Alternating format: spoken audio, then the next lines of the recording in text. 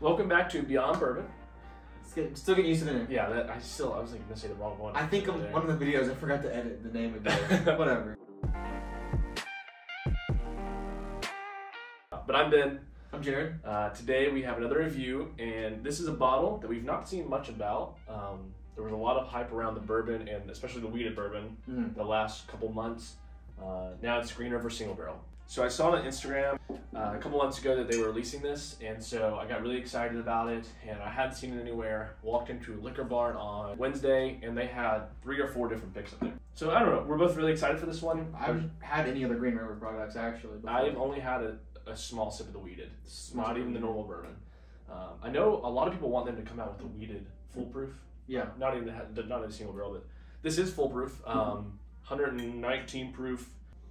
There, I mean, this is a pretty good budget too. I would say. Um, that smells really good actually. When you sent me the price for that, how much did you pay for it? 63. That's what I thought. Yeah, I think like 63 60s. plus tax. Yeah, like in the 60s, 70s. Yeah. Great price for a single barrel full proof product. You either usually get a full proof product or a single barrel product. And I think because I know they released their bourbon, I guess a couple years ago, and people weren't very happy with it. They rebatched it, reblended it, and now people are much bigger fans. I'm glad. It's, I'm glad they didn't give up. I'm glad they kept with it and they made a product that people are starting to enjoy. Yeah, that smells really good. There's some dark flavors to it. Yeah, you can tell it's got proof. Almost some licorice, I think, that comes through, like the black licorice, um, I get that for sure. or um, what's the uh, what's the other brand? Twizzler. Twizzler. Yeah. I get that for sure. Um, doesn't smell, Super sweet. yeah, much savory. I you wait, are you saying it is super sweet? No, it's oh not. yeah, not. so- I agree. Yeah. It's like a chocolate chip pancake kind of thing. You know the boozy cupcakes people make? Yeah, I don't. Yeah, that smells like that. Like when they try to make it overwhelmingly smell like alcohol. Mhm. That's what it smells like. It's not that it's gonna burn my nose or anything, but it just smells like alcohol. Like it's a little harsh on the palate. A little bit harsh. Little- Has like a little drying, a dryness to it. Yeah, a little tannin. It kind of tastes like Nesquik. You ever like had the Nesquik powder? Yeah. Where you're like, I don't have any milk. I'm just gonna take some in my mouth. You've done that. Am I the only one? Yes, I have. That's what it kind of tastes like. It's like, oh my gosh, I need some water after that. Yeah, a lot of the moisture off my tongue. but I keep doing every video. I do this. yeah. I don't know what's wrong. What is, what is So I'm trying to grab for something. I don't know. I'm not a huge fan of that off the off the rip there.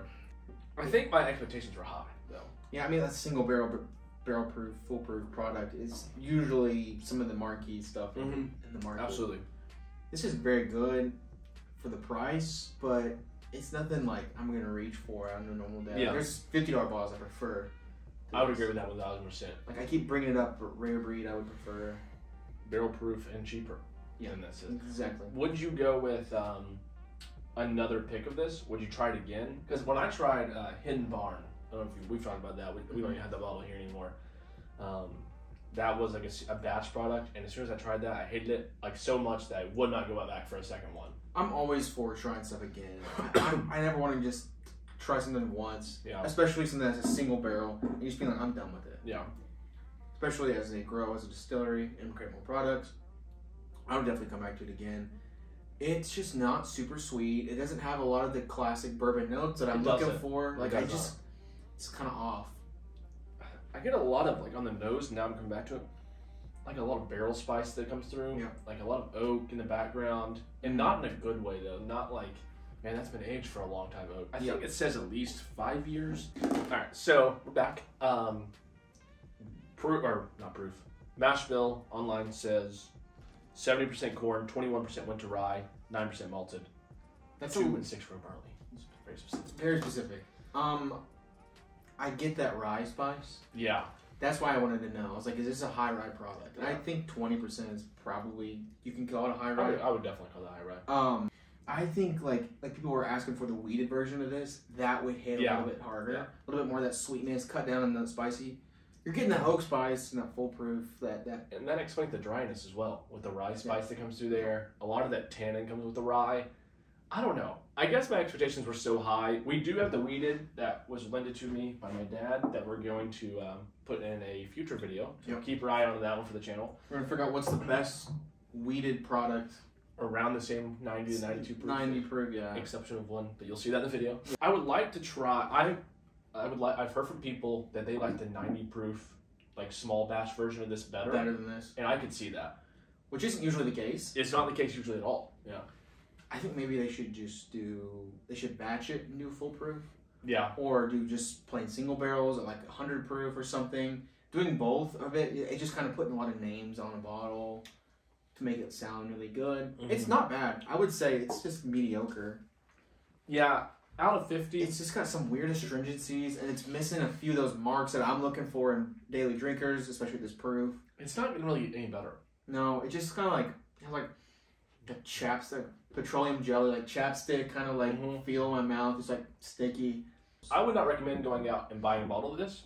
If you find a pour of it, I would definitely say try it there. Liquor barn, It- bar, whatever. If you like high rye products, I think it's a it's a Yeah. good try. It has a little bit of chocolatiness to it, but it's more of like a dark chocolate. Mm-hmm. It's not like that super sweet, rich like milk chocolate that we stuff that like. we like. Yeah. Um, definitely worth a, a try, but don't buy it yet. Probably. Yeah. I would wait until it gets a little better because I mean it's very new. Like I mean this is the first month it's been released. Single barrel products are inherently different. Like that's the point of it. They are meant to be different. If you guys might have a bottle of this and you love it, our next bottle of this, you might love it. Yeah. It could be worse. That's something. It's a risk. Yeah, it's a risk. barrel. Yeah. This was a store pick, so you kind of think going into it, well, it's got to be better than the average because they tried a couple and picked this one out. Yeah. Um. So out of fifty, Yeah. You want to go first? I'm gonna go with. It's a twenty-nine. I was thinking 27, so we're about the same it's swing 29. there. Just not a huge fan. It's definitely not undrinkable. Like I could. Yeah. We'll probably finish this bottle one day. Without a doubt. It's not gross. No.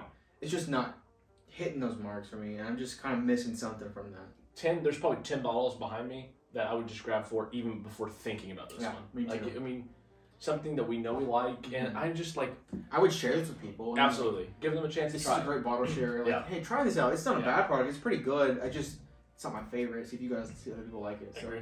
Try a pour of it, don't try a bottle. I think that's where we're at. Green River, keep making stuff. We're Yeah, gonna keep, keep trying, trying, it. yeah. I'm super happy we got to try this one. Some of the first people maybe to try Yeah. it. So, Absolutely. So thank you guys. Like and subscribe, and check out our other videos. Our shorts are also, we've Yeah.